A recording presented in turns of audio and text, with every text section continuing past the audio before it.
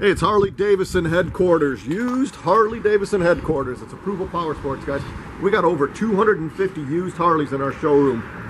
This one's a uh, ultra classic Electra Glide. We got this thing priced right. It's a 2007. We got it at 9,500. It's one good looking bike. Comes in blue and silver, two tone paint, tons of chrome, Rinehart exhaust, and more. This thing runs strong, needs nothing. It's been inspected. All the fluids have been changed. You guys can buy with confidence. Get out there and ride. $9,500.